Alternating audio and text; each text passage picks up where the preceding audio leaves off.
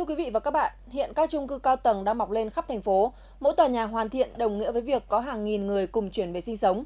Và thay vì việc cả nghìn người phải ra trụ sở công an phường để đăng ký tạm trú, thì lãnh đạo công an quận Bắc Từ Liêm đã tìm ra một mô hình thích hợp, đáp ứng tối đa nhu cầu của người dân cũng như công tác quản lý nhân khẩu trên địa bàn. 20 giờ 30 phút, tại nhà sinh hoạt cộng đồng khu chung cư Goldmark, những chiến sĩ công an phường Phú Diễn và đội quản lý hành chính công an quận Bắc Từ Liêm vẫn tận tình hướng dẫn và tiếp nhận người dân làm thủ tục đăng ký tạm trú. Ở đây là các đồng chí dành hẳn thời gian ngoài giờ, cộng thêm là chỉ giải quyết cho cư dân của của khu thôi. Như vậy nó cũng sẽ bớt rất là đỡ rất nhiều thời gian cho cư dân.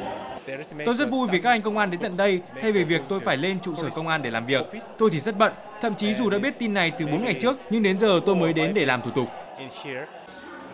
Rõ ràng công tác chỉ đạo của lãnh đạo công an quận Bắc Từ Liêm là kịp thời và đã phát huy tác dụng, tạo ra sự gần gũi gắn kết với nhân dân, đồng thời mang lại cho họ những lợi ích thiết thực nhất. Ở các tòa nhà này thì hiện nay nhân dân cũng đang rất khó khăn.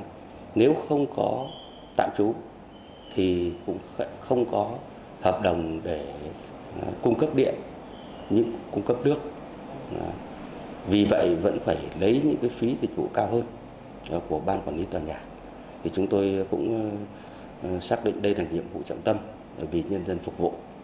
Lãnh đạo công an quận cũng khẳng định, không chỉ khu chung cư Goldmark mà bất kỳ khu dân cư nào có hiện tượng tăng đột biến về số lượng người dân chuyển đến sinh sống thì quận cũng sẵn sàng lên phương án đảm bảo công tác quản lý nhân khẩu cũng như công tác hỗ trợ người dân luôn kịp thời.